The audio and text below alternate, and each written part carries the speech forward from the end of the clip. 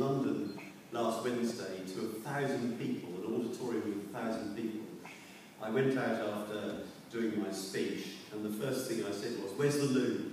Uh, little did I know that it was broadcast to a thousand people. Uh, I suppose it could have been worse. I could have got to the loo uh, before they, before they, realised. Uh, so, uh, this is a leadership election, and uh, I can confidently predict that this is an election which will be won by a Liberal Democrat. Thank you. And it is the first of very many. It's the first of very many. And I wanted to also say, just before I get into the main uh, contribution I want to make, that I recognise that the last five years has been extraordinarily painful for this party and for very many people fighting and winning elections in their communities and then losing elections through absolutely no fault of their own. I, I recognise that completely uh, and I understand the pain that people feel and suffer as a result of losing in those circumstances. And it seems to me that it is up to all of us collectively, and incidentally, whoever wins this election, we are united. We must be united as a party to fight to win back that liberal voice in our country. There is no place for divisions, splits of anything of that sort. We must unite around whoever prevails in this leadership election. Now, um, before you make up your mind uh, as to who to vote for, you will want to know uh, what my motivation is, what drives me, what I'm about as an individual. You'll want to know what my ambition is uh, for this party, and you'll want to know how I intend to try to achieve that ambition. So let me tell you first of all a bit about me. Well, way back in 1987, I won my seat for the first time on Norwich City Council. Uh, it was a ward which uh, had been Conservative and then Labour. We had been in third place and we prevailed and we ended up with every single member in that ward as a Liberal and then a Liberal Democrat. We got to the point in that uh, ward where both myself and my wife Mary were councillors, Mary was a county councillor, and then we had a by-election and our lodger stood. And we, so we ended up with three councillors in the House, and you can imagine the amount of paperwork that came through our letterbox every single day. So I am at heart a grassroots campaigner. I then took on North Norfolk uh, constituency, 15,500 votes behind the Conservatives, and an 11-year battle. Call me a sad man, uh, but 11-year battle, and finally we prevailed with a majority of 483, creeping over the finishing line in 2001, but then building a majority and holding it ever since. And so for me, grassroots campaigning and the principle of community politics is at the heart of everything we should do. I want to say a bit more about that in a moment. But throughout my uh, adult life, I have tried to live out my liberal values. So long before I was uh, elected to Parliament, as a lawyer, I took on the MOD uh, on behalf of 5,500 women who were being discharged from the armed forces for getting pregnant. The MOD had acted in breach of the Equal Treatment Directive, and we took them on and won compensation for those women who had been unlawfully discharged. As a new MP in Parliament, I took on Tony Blair. I wanted to know who he had been meeting in the run-up to the Iraq War, who had been influencing him. So I asked the question about who he'd been meeting at Chequers, and the answer inevitably came back, we don't answer that question. So I challenged him and it, after a long battle, it led to a groundbreaking decision which established the really important principle that every citizen in our country is entitled to know who the Prime Minister meets, who every minister in the government meets, so that we know who is influencing them.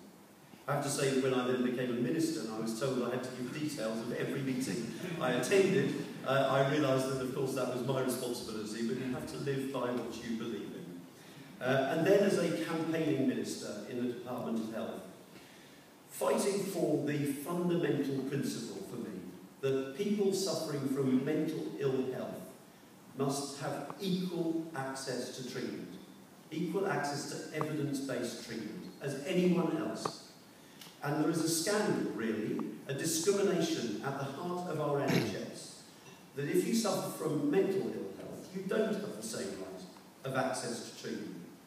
So, how can it be right that if you suffer from suspected cancer, you have a right to an appointment with a specialist within two weeks, and rightly so.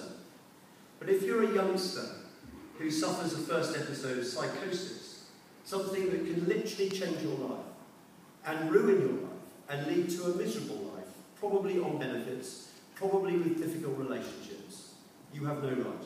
No right at all to access treatment on a timely basis. So that's why I'm incredibly proud that we introduced the first ever waiting time standards, maximum waiting time standards, including for early intervention in psychosis, to give youngsters in particular the chance of a good life, to rescue lives, to ensure that they can enjoy life just as any of the rest of us can. And we introduced it from April of this year. But in all of my work as a minister, I came across so many cases where families and individuals were treated as second-class citizens, too often ignored by the system, not listened to. I heard families saying to me, we're really concerned about our son or daughter who's been put in an institution, possibly hundreds of miles away from home. And when we raise concerns, nobody listens to us. So I would take on those cases on behalf of individuals and fight to ensure that commissioners actually listen to people. this is, for me, at the heart of my liberalism but not just to take on individual cases, to come up with new proposals for rights for people, to challenge decisions, and to have control over the money that's available for your care. And I will hold the Tories to account to implement those new rights in this Parliament. It's essential uh, that they do.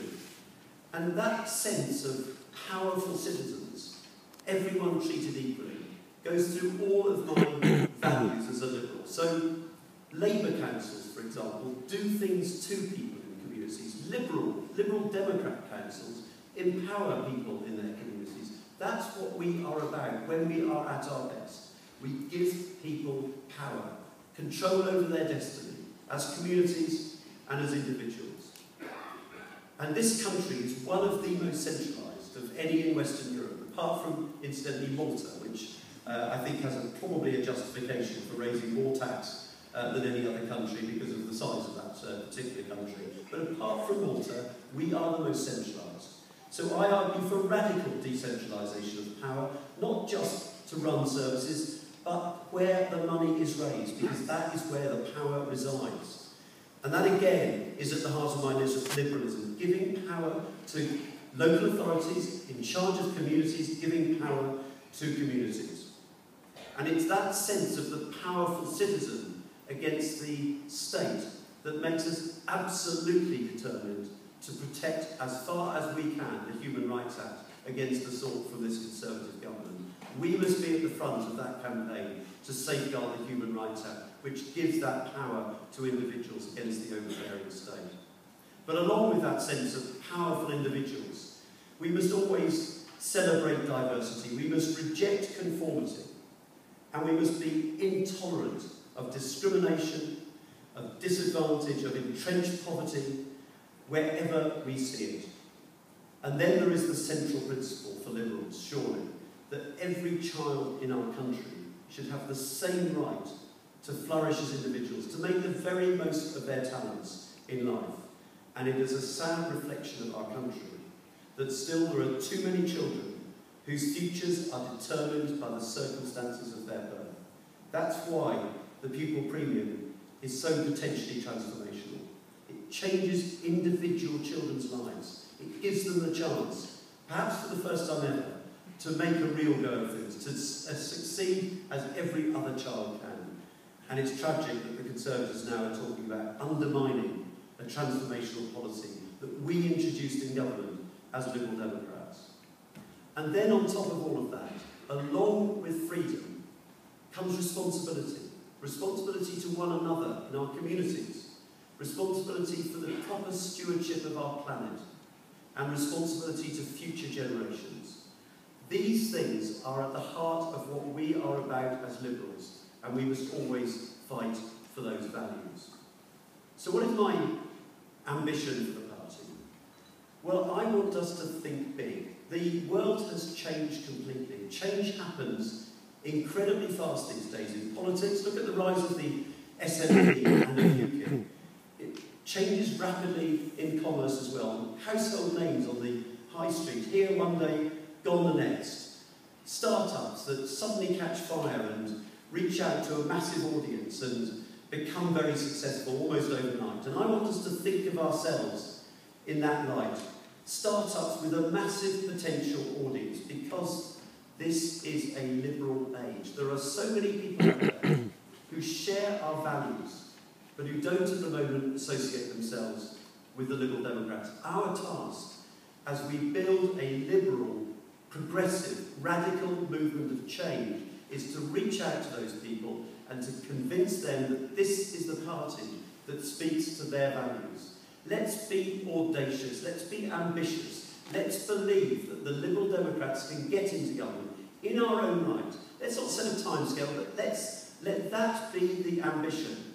Because there is no point in what we do unless we grab power in our communities and local government and nationally so that we can make a difference to people's lives. That must be what we are about, and we must be ambitious to achieve that objective. So, how do we do it? Let me take you through the steps that we need to take. First of all, I believe we need root and branch reform of the way our party operates. I don't think if we're honest, we always apply our liberal values to the way in which our party operates and behaves. There are too many committees that I get confused about myself. It leads to unaccountable power. We are not diverse. We are the least diverse party in our country. That, for Liberals, should be completely intolerable. We must make sure that everyone in our party is valued and has the chance to make a success of things within our party. And I want everyone involved in the policy making process. So our democracy as a party is based on the idea that you go to the conference in September and then in, in March the following year. But these days, we can link everyone up electronically to our conference, and we can give everyone, all those new members that have joined our party, the chance to vote in key decisions about policy making at our party conference by linking them up electronically. Surely we should be leading the way in our internal democracy so that we give every member the chance to have, our, have their say. And then secondly, we must again become a really effective election winning machine. The truth is that we've fallen behind the curve nationally. Other parties have overtaken us. There's a wealth of skills party, including here in this room today. But it seems to me we must, across the country, return to our values of fighting uh, to give power to people through the principle, the genuine principle of community politics. That must be the way in which we go back to winning elections again. It's the way I won elections myself, giving power to our communities, and it's the way very many of you in this room will have got power yourselves in your communities. Third, I want our party to become an intellectual powerhouse. Just think back to Joe Grimond, those of you who are old enough like me to remember Joe Grimond, that radical liberal in the 60s. He was ambitious for our party. He got thinkers, big thinkers from outside the party to come in to think about liberal solutions to the big challenges of that age. We need to do the same. We can't run on empty. We've got to win the battle of ideas. Let's think big. Let's get a liberal movement, a dynamic movement going again so that we come up with the liberal responses to the big challenges that we face as a society today. And let me tell you this, if we can combine winning the battle of ideas with really effective campaigning, then we can become an unstoppable force. But you need both. And then finally, we've got to reach out to young people. Young people are overwhelmingly liberal in their attitudes. They think in a liberal way. They don't like the old ways of doing things. They want, they, they, they are international, they're dynamic, they're open in their attitudes. They want reform of the antiquated drug laws, which criminalise so many people in our country, which hand billions of pounds to criminal networks across our world. They want equal access to mental health services. They want a party that will lead the case uh, to uh, combat the challenge of climate change. They want liberal solutions to our housing crisis. They want opportunity to achieve for themselves in life. We can be that party. We can be the party that inspires a new generation of young people, just like in the 60s, where 2,000 people attended young liberal conferences in those days. We can get back to that. And if we inspire a generation of young people, then our future will be secured. So let me end by just telling you this. There was a young liberal youth student who said to me recently about my work on mental health, particularly focus on, focusing on young people's mental health. She said, You have restored my faith in politics. Now that meant an awful lot to me because what I'm about is getting stuck in, trying to make a difference to people's lives, having an effect by the work that you do. And when she said that to me, it made me realise that we had achieved some really important things in government. But we, Liberal Democrats, can inspire and restore everyone's faith in politics by telling it straight, by telling it as it is, by speaking from our hearts, speaking to our values as Liberals. And if we do that, and if we are really ambitious, we can succeed. Together, we can succeed. We can get this party back into government. That must be our ambition if we want to make a difference to people's lives. Thank you very much indeed.